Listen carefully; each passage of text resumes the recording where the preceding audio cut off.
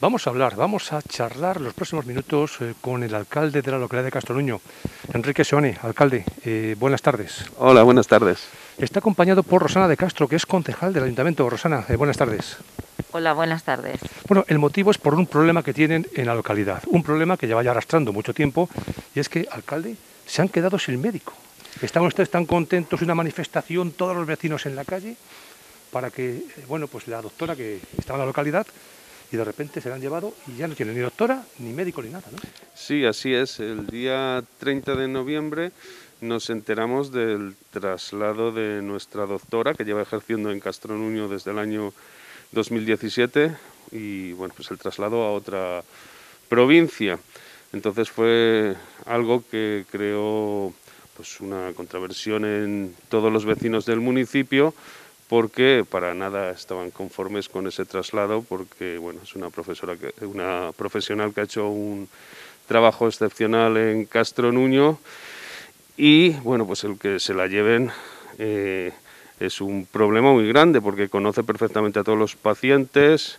Eh, estamos en un momento de pandemia pues que no es el más apropiado para un traslado y lo que es peor, no han traído un sustituto no tenemos médico. Lo que me llamaba bastante la atención era ver cómo se habían eh, bueno, pues, eh, juntado todos los colores políticos del pueblo para defender a la doctora. Estaban daba igual los de derechas que los de izquierdas, los que juegan en el Madrid, en el Barcelona, estaban todo el mundo de acuerdo con la doctora. ¿no? Así es, es algo que afecta del primer al último vecino. Todos valoramos muy positivamente el trabajo de esta facultativa y bueno, pues como bien dices, eh, hubo una concentración para pedir que no se realizara el traslado a la que acudieron unos 200 vecinos un día de diario por la mañana. O sea, es algo que yo no lo había visto nunca en, en Castronuño. Hubo otra iniciativa vecinal que fue una recogida de firmas para pedir a, a la Junta, a la Consejería que a la Consejería de Sanidad que no se llevara a cabo el traslado, pero bueno, finalmente el traslado lo han hecho. ¿Y qué supone para, para Castronuño no tener la mismo, en este caso la doctora, qué supone para la localidad? Bueno, pues es algo muy grave. El que alguien que tenga que ser atendido por un médico tenga que desplazarse al municipio de al lado con la población tan envejecida que hay y el problema sanitario que tenemos en todo el país, cuando están aconsejando que, que no nos juntemos en ciertos lugares, bueno, pues la verdad es que es un problema que tengamos que ir todos a la, e, a la EJOS, porque ya no es solo el municipio de Castronuño el que tiene el problema, sino todos los del área de salud, porque han quitado dos médicos del centro de salud, entonces han quedado ahora mismo tres facultativos que no dan abasto, por lo cual se han visto obligados a cerrar los consultorios o abrirlos eh, en periodos de tiempo muy cortito. ¿Y hasta cuándo va a estar este problema? Eh, porque me imagino que tendrá solución, pero a lo mejor a largo plazo o no. Pues no lo sabemos. Hemos tenido contacto con la dirección del área de la zona este, que es de, Valladolid, que es de la que depende el, área de salud de, de Alaejos, y nos han dicho que entienden el problema, pero que no encuentran médicos, no tienen médicos. Entonces, la solución evidentemente la tienen que poner ellos desde la gerencia regional. Así que teníamos una doctora que no se quería ir y ahora no hay médicos que quieran venir. Me imagino que los vecinos están un poco indignados, ¿no? Por esta situación. Claro, esto ha generado un enfado en, en todos los vecinos, pero muy grande. La verdad es que es un servicio básico, primordial, y, bueno, pues es intolerable que, nos quedemos sin médico. Yo no sé, Rosana, si creo que hubo un pleno ayer en el ayuntamiento precisamente para hablar de este tema, ¿no? Sí, efectivamente, hemos llevado una moción en la que todos los partidos estamos de acuerdo en, solicitar que se arregle el problema que tenemos de falta de, atención médica. Como tú decías, los, eh, todos los vecinos están, aparte de preocupados, es que se sienten desamparados. Es una angustia muy, muy grande en cualquier momento, pero es que estamos en mitad de la segunda ola de una pandemia, con un montón de gente envejecida que para trasladarse para allá, para cualquier, eh, cuestión sanitaria tiene que trasladarse a la EJOS. Eh, date cuenta que es, eh, son gente mayor que no conduce y el vecino de al lado que le llevaría encantado tampoco conduce porque está en una situación parecida a la suya. Entonces es como que nos hemos eh, quedado desamparados en medio de una pandemia. Tiene que ser tremendo para las autoridades de la localidad, ¿no? El, no poder hacer nada. Angustioso. Eh, eh, ¿Notan el apoyo de, de sus compañeros de partidos a nivel provincial, a nivel regional? por supuesto. de hecho, ha habido varias conferencias de prensa en cuestión, por ejemplo, de en el área de salud de Izquierda Unida eh, regional se han, se han hecho varias conferencias a nivel regional porque estamos todos en la misma situación. Es una carencia de médicos importante y bueno, no se encuentran en estos momentos. Y todo la sanidad ha ido perdiendo inversiones y la consecuencia de todo eso pues la estamos padeciendo ahora. Esta situación no es nueva, lo que pasa que la situación de, agravada por una pandemia pues ha, llegado, ha llevado al colapso sanitario. Yo me imagino, alcalde, que en otra situación, por ejemplo, pues eh, la localidad tendría menos, los vecinos a lo mejor menos miedo, ¿no? Pero como estamos comentando, en plena pandemia, no contar con el médico cercano que tienes en el pueblo, Claro, tiene que haber cierta, cierta angustia por lo vecinos. Es el momento más inoportuno para hacer este tipo de traslados que se ha hecho en Castro Nuño y se han hecho en toda Castilla y León. Este es el mismo caso de los nueve de Soria, eh, nueve doctores que bueno, pues que han salido en los medios de comunicación diciendo que ellos se quieren quedar en los lugares donde estaban ejerciendo, pero se les han llevado de, la provincia. Bueno, pues es algo que en la provincia de Valladolid ha afectado por lo que he leído, en torno a 40 facultativos que les han llevado de, de sus puestos habiendo pedido comisiones de servicios, o sea, habiendo pedido quedarse en el puesto en el que estaban trabajando. La verdad es que no tiene ningún sentido hacerlo ahora, porque eh, normalmente, claro, un, un médico tiene sus pacientes, los conoce y en este momento es cuando más necesitan de, ese doctor y de esos conocimientos que ese doctor tiene sobre, sobre ellos, sobre los pacientes. Pues a ver si se soluciona pronto este problema que para mí creo que es importante. Eh, ¿Cómo han llevado estos ocho meses que estamos de, pandemia? ¿Cómo, ¿Cómo, han transcurrido en Castronuño? Que por cierto veo que tienen ustedes unas mascarillas personalizadas, ¿no? Con el, con el escudo de la localidad. Mm.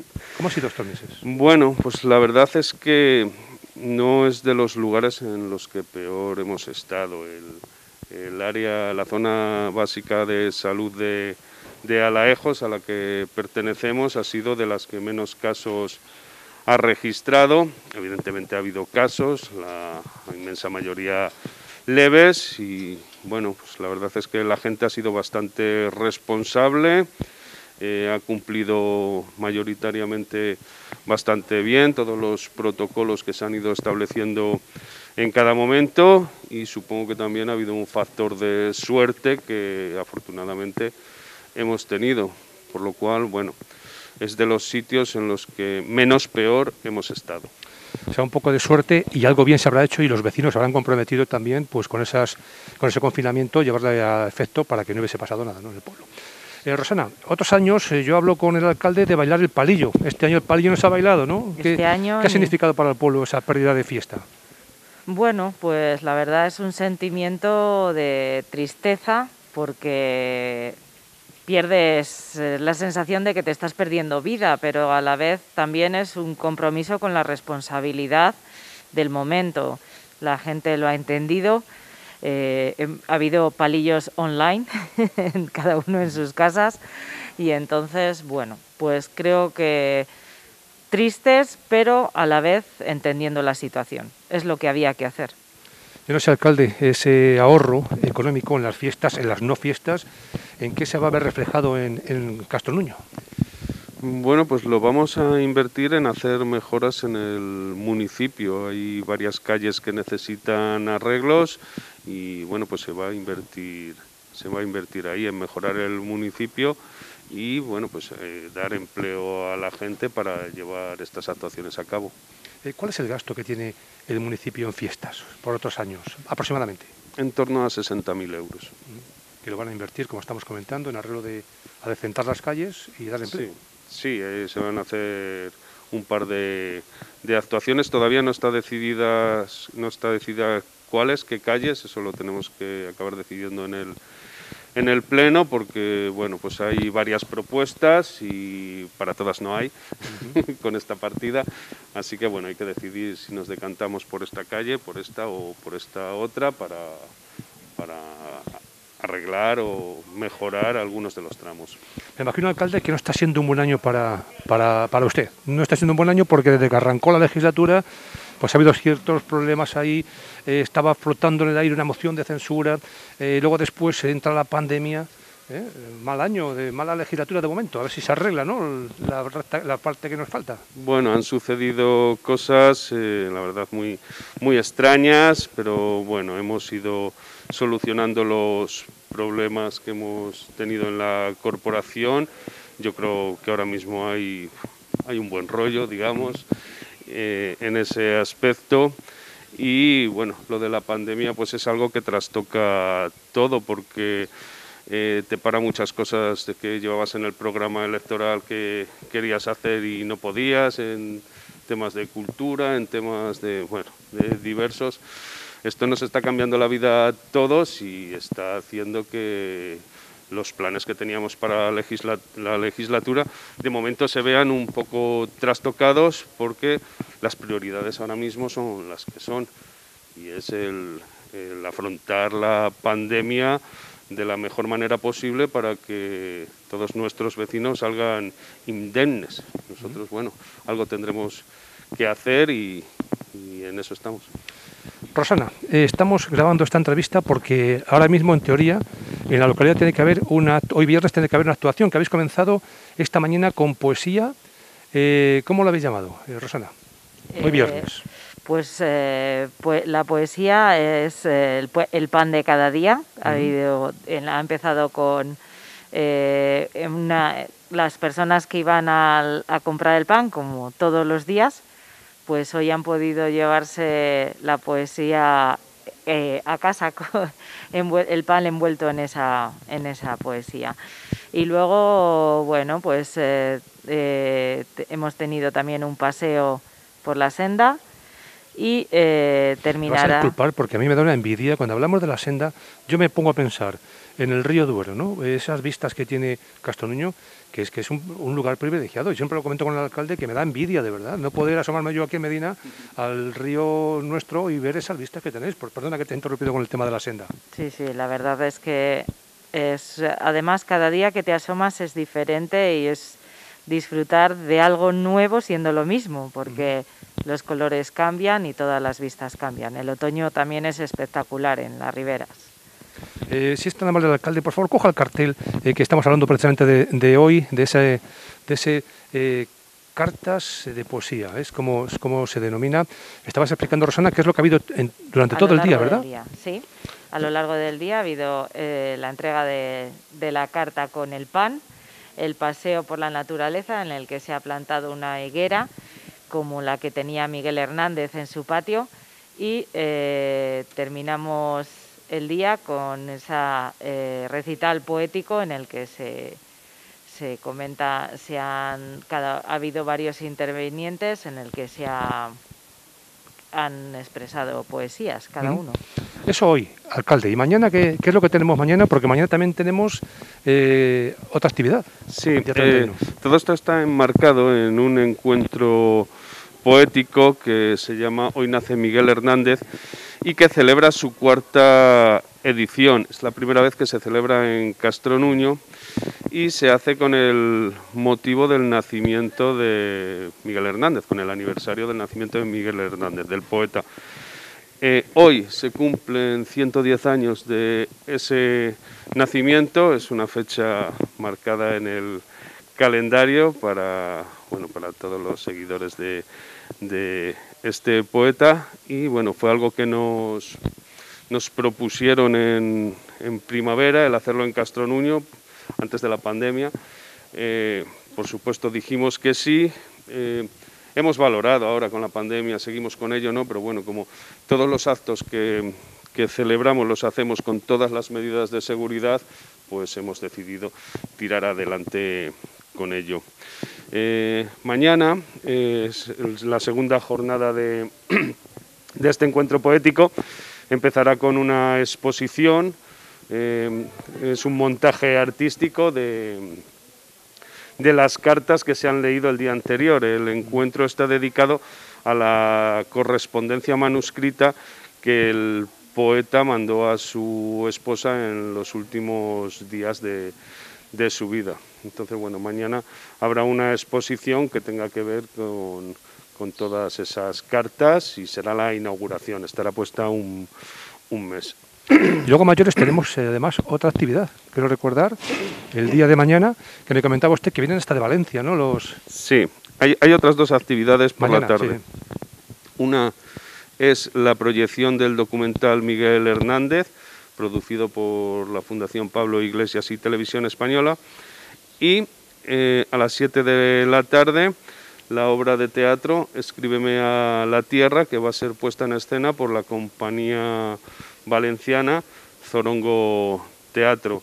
Es una carta en la que eh, la mujer de Josefina Manresa, la mujer de Miguel Hernández, pues de alguna manera desnuda su alma mientras eh, lee esas cartas que el poeta la escribió desde la cárcel.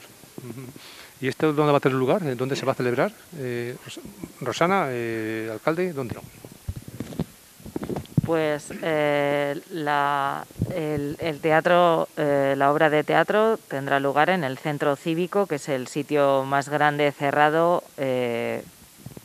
y preparado para la ocasión. ¿Qué capacidad va a tener, va a coger en mañana? Estos momentos, estamos en la situación que estamos. En estos momentos caben 56 personas. 56 personas. Sí, es un sitio que habitualmente podría haber eh, unas 300 personas y ahora pues caben 56, pero bueno, es lo que hay.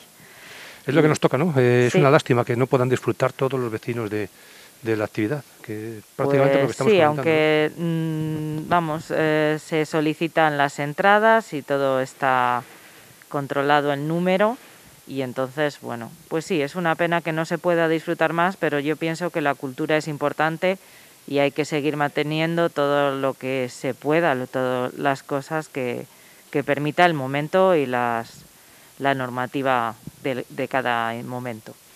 Yo no sé, alcalde, pero veo que Castro Nuño apuesta mucho, eh, no este último año, sino en los últimos años, por la cultura, ¿no? Eh, ¿Por qué? ¿Qué, qué ha descubierto el alcalde para, para esa apuesta?